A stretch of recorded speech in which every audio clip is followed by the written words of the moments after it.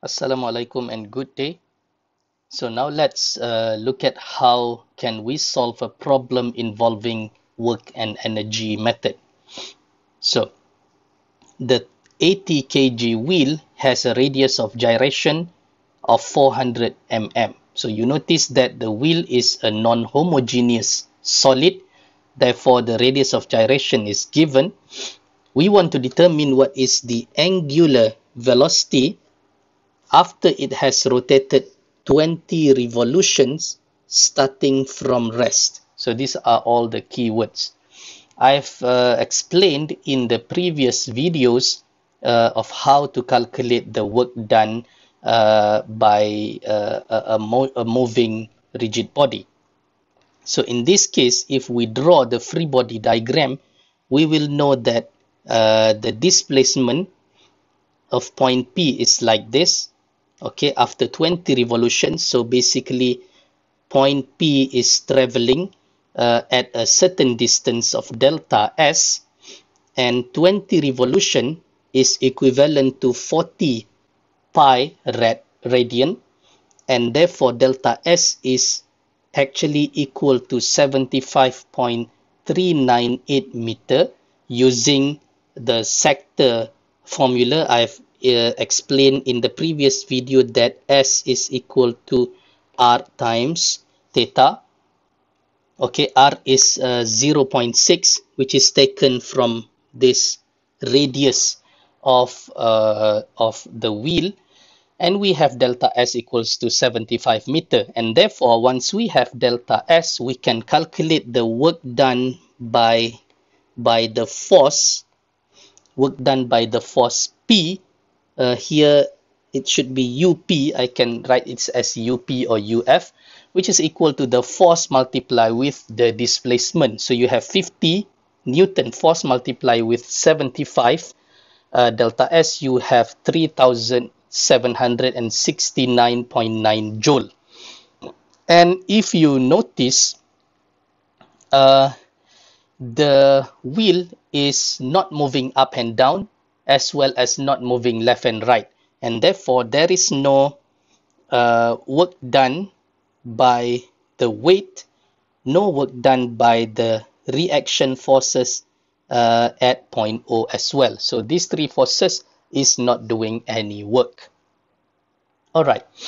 Now now we move on to how to calculate the angular velocity. We have determined the work done but how do we determine the angular velocity? Do you still remember about kinetic energy? Okay, now it says that the, the wheel starts from rest. What does it mean? It means that initially the wheel is not moving and therefore because it starts from rest, we know that the initial kinetic energy is equal to zero. So we write T1 is equal to zero. This is the initial initial KE, initial kinetic energy equals to zero. What about the kinetic energy after it has rotated 20 revolution? So that is what we call as the final kinetic energy. So final kinetic energy, we, uh, we write it as T2. So T2, this is a, a, a rotation case, all right? So we will be using uh, this formula 1 over 2 IO omega square. So we need to know the mass moment of inertia of this about point O, which is given as radius of gyration. So IO is MKO square. You will get 12.8 kg meter square. And when you substitute in uh, this equation, you will get T2 is equal to 6.4 omega square. So this is the omega that we want to find. This is the angular velocity after it has rotated 20 revolution. Okay.